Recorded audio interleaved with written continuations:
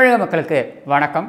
பேசக்கூடிய விஷயம் வந்து நேற்று நடந்த இந்த உச்சபட்ச காமெடி அதாவது இந்த முடக்கம் ஊரடங்கு அதாவது முழு ஊரடங்கு அப்படின்றத வந்து முதலமைச்சர் அறிவித்து இரண்டு நாட்கள் வந்து தளர்வு அதாவது கடைகள் ஆறு மணியிலிருந்து ஒம்பது மணி வரைக்கும் செயல்படும் இரண்டு நாட்கள் செயல்படும் அப்படின்றத முதல் நாள் மூணு மணிக்கு அறிவித்து அது வந்து அமலுக்கு வந்து மக்கள் எல்லோரும் ஓடி சென்று அதையும் கூட ஒழுங்காக தெளிவாக சொல்லாமல் எந்தெந்த பொருட்கள் அவைலபிளாக இருக்கோ வண்டிகளின் மூலமும் மற்ற வாகனங்களின் மூலமும் மற்றவை மூலமும் என்னென்ன என்னென்ன பொருட்கள் வந்து விநியோகம் செய்யப்படும் என்பதனை கூட தெளிவுபடுத்தாமல் சரியாக தெளிவுபடுத்தாமல் கேட்டால் இவங்க என்ன சொல்கிறாங்க அப்படின்னாக்கா திமுக தரப்பில் என்ன சொல்ல சொல்கிறாங்கன்னா அது ஊடகத்துடைய பொறுப்பு அப்படின்னு சொல்லிட்டு. சேப்பாக்கத்தில் உதயநிதி ஸ்டாலின் கக்கூசை எட்டி பார்த்தார் அப்படின்றத வந்து நீங்கள் வந்து ஒரு ஒரு ஊடகமும் அதை வந்து ஒளிபரப்பும் வகையில் நீங்கள் மார்க்கெட்டிங் செய்யும் பொழுது மக்களுடைய உயிர் சம்பந்தப்பட்ட இந்த விஷயம் மிக மிக முக்கியமான இந்த விஷயத்தை நீங்கள் வந்து பரப்புரை செய்ய வேண்டுமா வேண்டாமா? அரசாங்க பணத்தில் உங்கள் பாக்கெட்டில் இருந்தாங்க எடுத்து கொடுக்க போகிறீங்க அரசாங்க பணத்தை தானே எடுத்து கொடுக்க போகிறீங்க உதயநிதிக்கும் ஸ்டாலினுக்கும் மார்க்கெட்டிங் செய்வதற்கு நீங்கள் செலவு செய்கின்ற அரசாங்க பணத்தை தயவு செய்து மக்கள் உயிருக்காக நீங்கள் செலவு செய்யுங்கள் தான் நாங்கள் சொல்கிறோம் அப்போது நீங்கள் என்ன சொல்லிக்கணும் காய்கறிகள் இதெல்லாம் வந்து பிரச்சனை இருக்காது. இதெல்லாம் வழங்கப்படும். இதெல்லாம் விற்க விற்பனை செய்யப்படும். கடைகள் இந்தந்த நேரத்தில் அறிவிச்சிருக்கோம் அப்படின்றத நீங்கள் பரப்புரை செய்திருக்கணும்ல. குறைந்தபட்சம் உங்கள் சேனல்லையாவது நீங்கள் சன் டிவிலையாவது முக்கியமான மேஜர் இந்த கிரிட்டிக்கல் ஹவர்ஸில் நீங்கள் வந்து ஒளிபரப்பு செஞ்சுருக்கலாமே.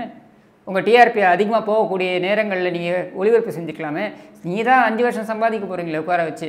அரசு கேபிளை ஒன்றுமே இல்லாமல் பண்ணி சுமங்கலி கேபிளை தானே வச்சு சம்பாதிக்க போகிறீங்க அதையாவது பண்ணியிருக்கலாமே குறைந்தபட்சம் ஒரு மனிதாபிமானம் இருந்தால் அது நடந்திருக்கும். அதை கூட இவர்கள் செய்யவில்லை. மக்கள் எல்லோரும் முண்டியடித்து கொண்டு சென்றார்கள். இதுதான் சாக்கு என்று வியாபாரிகள் எல்லோரும் பொருட்களை எல்லாம் விலையேற்றினார்கள். ஒரு கொத்து கொத்தமல்லி ஐம்பது ரூபாய் ஒரு கிலோ கத்திரிக்காய் நூறு ரூபாய் இரநூறு ரூபாய் என்று போகின்ற அளவிற்கு இவர்கள் செய்தார்கள் அப்படின்றத நம்ம பார்த்தோம். இப்போ இந்த விக்ரமராஜா இதுக்கு என்ன சொல்லியிருக்காரு? கடந்த ஆட்சியின் பொழுது இது மாதிரி ஊரடங்கு அறிவிக்கப்பட்ட பொழுது இதே விக்ரமராஜா சொன்னது என்னென்னா இது மாதிரி ஊரடங்கு அறிவிக்கிறீங்கன்னா ஐந்து நாட்களாவது நீங்கள் வந்து தளர்வு கொடுக்கணும். அதுக்கப்புறம் நீங்கள் இந்த ஊர ஊரடங்கை அமல்படுத்தணும்னு சொன்ன விக்ரமராஜா இன்றைக்கி என்ன சொல்கிறாரு தெரியுமா? ஊரடங்கை வரவேற்கிறேன். ஆமாம் கண்டிப்பாக வரவேற்பீங்க.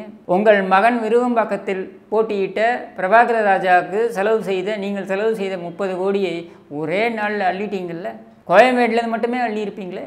வியாபாரிகள் கூட்டமைப்பின் தலைவர் தானே நீங்கள் நீங்கள் அள்ளியிருப்பீங்கல்ல இதுதான் இங்கே நடந்துக்கிட்டு இருக்கு. அதாவது ஜாக்டோ ஜியோ தலைமை பொறுப்பில் இருக்கக்கூடிய அந்த நபருடைய வாரிசுக்கு எம்எல்ஏ சீட்டு வியாபாரிகள் கூட்டமைப்பு தலைமை பொறுப்பில் இருக்கக்கூடிய விக்ரமராஜாவின் மகனுக்கு எம்எல்ஏ சீட்டு இப்படி தானே விநியோகம் பண்ணியிருக்காங்க திமுகவில் இப்போ இதில் நீங்கள் உங்களுடைய முப்பது கோடி எடுத்துட்டீங்க.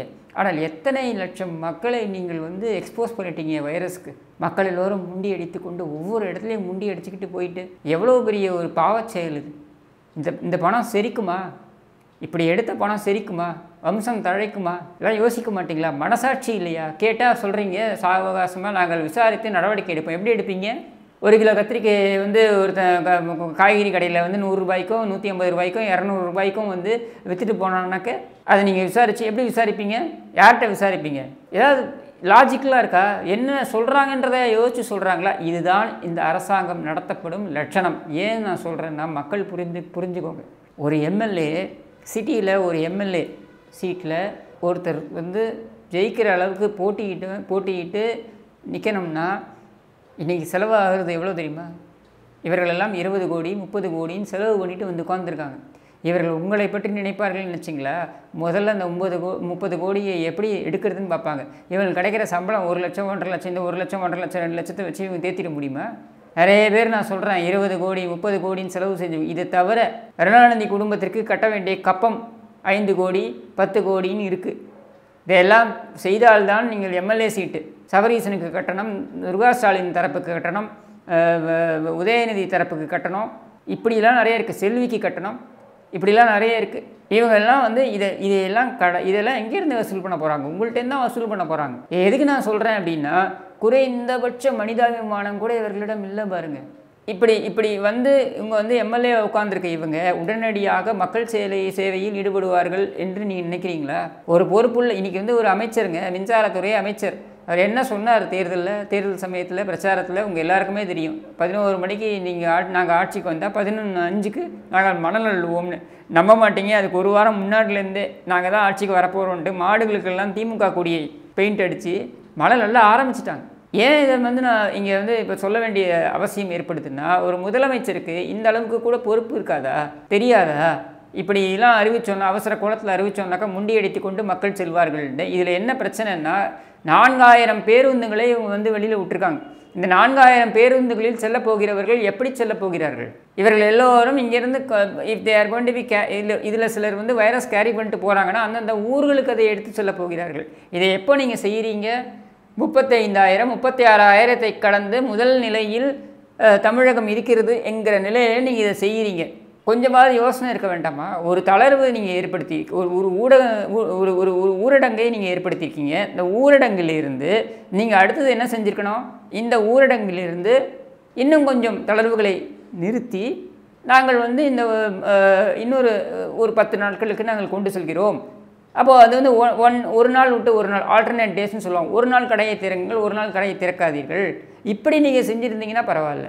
இது எந்த யோசனையுமே இல்லாமல் காலையில் ஒரு அனைத்து கட்சி கூட்டமாக உடனே ஒன் ஹவரில் இவர் வந்து அறிவிச்சிருவாராம். இது என்ன இது என்ன திங்கிங் இதுக்கு பின்னாடி என்ன திங்கிங் இருக்க முடியும்? சொல்லுங்கள் சம்பிரதாயத்திற்காக நடந்தது தான் அனைத்து கட்சி கூட்டம்.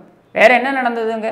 கடந்த ஊ- ஆட்சியின் பொழுது ஊரடங்கு நடந்த பொழுது வாகனங்களில் காய்கறிகள் கொண்டு வரப்படும் என்பதை பிரதானப்படுத்தி அவங்க வந்து சொன்னாங்க. எல்லா டிவிலையும் ஒளிபரப்பி பிரதானப்படுத்தி மக்கள் அஞ்ச அச்சப்பட வேண்டாம்னு. ஏதாவது ஒரு கம்ப்ளைண்ட் வந்துச்சா? இந்த மாதிரி காய்கறி விலைகள் அதிகமாயிடுச்சு. மக்கள் சுரண்டப்பட்டார்கள். அப்படின்னு எங்கேயா ஒரு கம்ப்ளைண்ட் வந்துச்சா? இது இது வந்து காய்கறி விலையை விட்டுருங்க. நீங்கள் கொடுத்த ரெண்டாயிரம் ரூபா கத்திரிக்காய் வாங்குறதுக்கும் பீன்ஸ் வாங்குறதுக்குமே போயிடுச்சு. அடுத்து நீங்கள் கொடுக்க போகிற ரெண்டாயிரம் ரூபாய் அதில் இன்னொரு கூத்துருக்கு நான் என்ன சொல்ல வரேன்னா நீங்கள் உங்களுடைய வேக்சினேஷன் எடுத்துப்போம் ட்ரைவ் எடுத்துப்போம் இன்னைக்கு அதாவது மே செவன்டீன்த்து இன்றைக்கி இல்லை மே செவன்டீன்த் வரைக்கும் உங்களிடம் பதினெட்டு லட்சம் இது இருக்குது தடுப்பூசிகள் இருக்குது பதினெட்டு லட்சம். நீங்கள் போட்டு கொண்டிருப்பது எவ்வளவு? தடுப்பூசி முப்பதாயிரம் நாற்பதாயிரம் ஐம்பதாயிரம்னு வந்துட்டு இருக்கீங்க நீங்கள் ஒரு நாள் ஒன்றுக்கு. இதில் கோவை மண்டலத்தில் பார்த்தீங்கன்னாக்கா அங்கே வந்து இல்லவே இல்லை. கொங்கு மண்டலத்தில் தடுப்பூசிகள் இருக்குது ஆனால் போடப்படுவதில்லை. நூற்றி எழுபது நூற்றி எண்பது என்று கோவையிலேயே இவங்க போட்டுக்கிட்டு இருக்காங்க. அப்போ தடுப்பூசி குறித்த விழிப்புணர்வை நீங்கள் ஏற்படுத்த வேண்டாமா?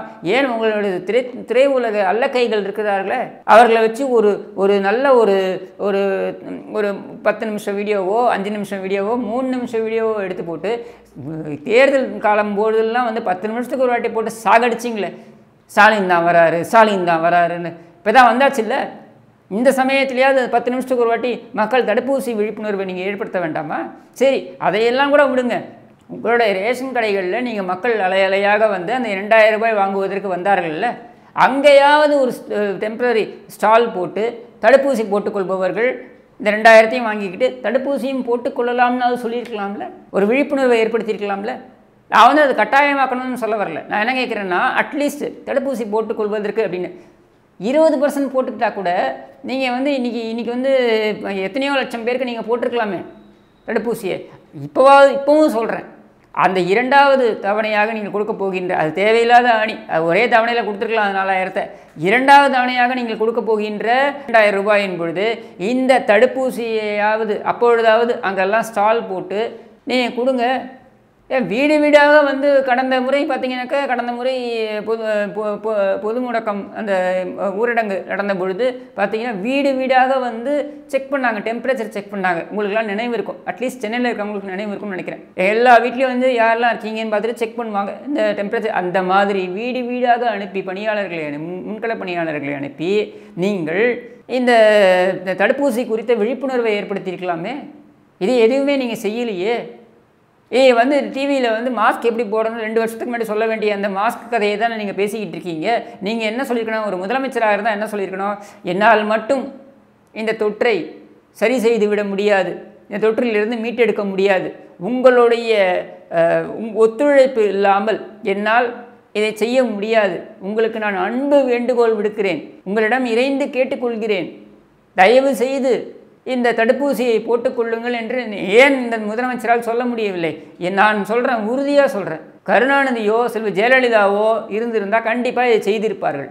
இவருக்கு அந்த கனெக்டே இல்லை மக்களுடன் இமோஷனல் கனெக்டே இல்லை. ஏன்னா மக்கள் இது ரெண்டு தரப்பு தாங்க இதை வந்து சரி செய்ய முடியும். ஏற்கனவே medical officials health officials work health workers health department workers அவங்க எல்லாம் அவங்களோட பணிகளை சிறப்பாக செஞ்சுக்கிட்டு இருக்காங்க. அதில் ஒன்றும் இதுவே இல்லை. இன்னும் அவர்களால் செய்ய முடிவதை விட அதிகமாக செய்து கொண்டிருக்கிறார்கள். ஆனால் இரண்டு தரப்பு தான் இதில் முக்கியமாக ஒத்துழைக்க வேண்டும். ஒன்று காவல்துறை. காவல்துறை சுதந்திரமாக செயல்பட வேண்டும். அது செயல்படாத வரைக்கும் நீங்கள் இந்த ஊரடங்கை அமல்படுத்த முடியாது. இரண்டாவது தரப்பு என்ன அப்படின்னா மக்கள். பொதுமக்கள் ஒத்துழைப்பு இல்லாமல் நீங்கள் இந்த ஊரடங்கை நீங்கள் வந்து அதை கொண்டு போக முடியாது. இப்போ புரியுதா? அது வந்து விளக்கேற்றினா இது போயிடுமா? கொரோனா போயிடுமா? அந்த இதை வந்து தட்டினா சத்தம் போட்டு தட்டினா போயிடுமான்னு. அது engaging the public emotionally engaging the பப்ளிக்னு சொல்லுவாங்க. இது உலகம் முழுக்க செய்யப்பட்ட விஷயம்தான் அது. என்ன தெரியுமா? ஊரடங்கின் பொழுது மக்கள் அடங் அந்த அவங்க வந்து வீட்டுக்குள்ளேயே அடைந்து இருக்கும் பொழுது மன உளைச்சலுக்கு ஆளாகலாம். அது மட்டும் இல்லாமல் அவர்கள் என்ன செய்வது அடுத்ததுன்னு போது நான் வெளியில் போகணுன்ற எண்ணம் வரும். அப்போது ஏதாவது ஒரு ஆக்டிவிட்டியில் அவங்கள எங்கேஜ் பண்ணிக்கிட்டே இருக்கணும். இதைத்தான் பிரதமர் செய்தார். அதை கேலியும் கிண்டலும் செய்தீர்கள். இன்றைக்கி நான் சொல்கிறேன் ஏதாவது ஒரு ஆக்டிவிட்டியில் எங்கேஜ் பண்ணுற மாதிரி முதலமைச்சர் வந்து பேசணும். டெலிப்ராம்டரை பற்றி பார்த்து பேசுகிறது பிரச்சனை கிடையாது. பிரதமரும் பேசுகிறாரு இன்றைக்கி அமெரிக்க ஜனாதிபதியிலேருந்து எல்லாருமே வந்து டெலிபிராம்டரை பற்றி பேசுகிற அந்த வழக்கம் இருக்குது அதை நான் தப்பு சொல்லலை. ஆனால் நீங்கள் உங்களை பார்த்து அவர் கனெக்ட் ஆகணும். நான் சொல்கிறேன். என்னுடைய வார்த்தைக்கு கட்டுப்பட மாட்டீர்களா? அப்படின்னு கருணாநிதி சொன்னால் மக்கள் கனெக்ட் ஆவாங்க. ஒரு தாயாக நான் சொல்கிறேன் அப்படின்னு செல்வ ஜெயலலிதா சொன்னால் மக்கள் கனெக்ட் ஆவாங்க. நீங்கள் என்னவா சொல்ல போகிறீங்க இதற்கு நான் போராடி கொண்டிருக்கிறேன். நிலைமை என் கையை மீறி போகும் போல இருக்கிறது. அதனால் நான் உங்களிடம் இறைஞ்சி கேட்டுக்கொள்கிறேன். தயவு கூர்ந்து என்னுடன் ஒத்துழையுங்கள். நீங்கள் ஒத்துழைத்தால் இதிலிருந்து நாம் மீட்டு வந்து மீட்டு மீண்டு வந்து விடலாம். அப்படின்னு வந்து நீங்கள் சொல்லணும்ல. அது எதுவுமே கிடையாது. சும்மா அங்கே எவனா எழுதி கொடுத்ததை பார்த்து இப்படி இப்படி இப்படின்னு பார்த்து படிச்சுட்டு போயிட்டா முடிஞ்சு போயிடுச்சா? ஒரு ப்ரெஸ் மீட்டில் கேள்வி கேட்குறாங்க அந்த கேள்வி கூட உங்களால் பதில் சொல்ல முடியலையே. கேள்விகளுக்கு பதில் சொல்ல முடியாமல் என்ன உடனே அந்த அமைச்சரை கூப்பிட்டு அந்த அந்த துறை அதிகாரி அவர் அவர் இந்த இந்த இந்த அமைச்சர் உடனே அவன் மைக்க பிடிங்கி இங்கே உரையிட போகிற உடனே அவன் மைக்க பிடிங்கி வேறு அமைச்சர் பேசுகிறாங்க இதை இவர்கள் கட்சிக்காரர்கள் எப்படி திருப்பி திரிக்கிறார்கள்னா இது எப்படி ஒரு ஜனநாயகம் பார்த்தீங்களா எது ஜனநாயகம்? இவரை போய் பார்க்குறவங்க எல்லார்ட்டையும் வந்து என் மாப்பிள்ளையை பார்த்துட்டு வாங்கன்னு சொல்கிறது தான் ஜனநாயகமா? அதுதான் ஜனநாயகமா? வெளியில் நீங்கள் காட்டுற படத்தெல்லாம் விடுங்க. கட்சிக்குள்ளே என்ன ஆயிட்டுருக்கு? உங்கள் கவர்மெண்ட் எப்படி இருக்குது முதலமைச்சரை போய் யார் பார்த்தாலும் அவர் மா அவரது மா- மாப்பிள்ளையை அதாவது அவர் மருமகனை சென்று பார்க்க வேண்டும் என்று முதலமைச்சரே சொல்கிறார் என்பது தகவல். ஐ பெரியசாமியிலேருந்து சீனியர் மோஸ்ட் மினிஸ்டர் கட்சி உறுப்பினர்கள்லேருந்து இதுதான் நிலைமை. அப்படி இருக்கும் பொழுது நீங்கள் எப்படி வந்து க இது வந்து க இது வந்து மிகப்பெரிய ஜனநாயகம்ன்றீங்க? அவருடைய ஒவ்வொரு ஒவ்வொரு ஒவ்வொரு என்ன சொல்கிறது தவறுகளையும் நீங்கள் முட்டு கொடுத்துக்கிட்டு இருக்கீங்க. நீங்களும் முட்டு கொடுக்குறீங்க. இன்னொரு பக்கம் உங்களுடைய ஊலக அல்லக்கைகள் முட்டு கொடுத்து கொண்டிருக்கிறார்கள். எத்தனை நாட்களுக்கு கொடுப்பீர்கள்? நூறு நாள் வரைக்கும் இந்த ஹனிமூன் பீரியட் இருக்குங்க. அதுக்கு மேலே மக்களே காரி துப்பி கேள்வி கேட்க ஆரம்பிப்பார்கள். என்ன கருமண்டா இதுன்னு கேட்பாங்க. ரெண்டு வருஷம் முன்னாடி என்னை ஒரு கேள்வி ஒரு என்னிடம் ஒரு கேள்வி வைக்கப்பட்டது. அது கேள்வி ரொம்ப சிம்பிள் திமுக ஆட்சிக்கு வந்து அவங்க நிலைமை என்ன ஆகும்ன்ட்டு என்ன கேட்டாங்க? என் நிலைமை என்ன ஆகும்? இவ்வளோ எதிர்த்து இவ்வளோ விமர்சனங்களை வைக்கிறீங்களா? நான் சொன்னேன் என் நிலைமையை விடுங்க. தமிழ்நாட்டு நிலைமையை நினச்சி பாருங்கன்னு சொன்னேன். அது எந்த நேரத்தில் நான் சொன்னனோ அதே மாதிரி ஆயிடுச்சு. நன்றி வணக்கம்.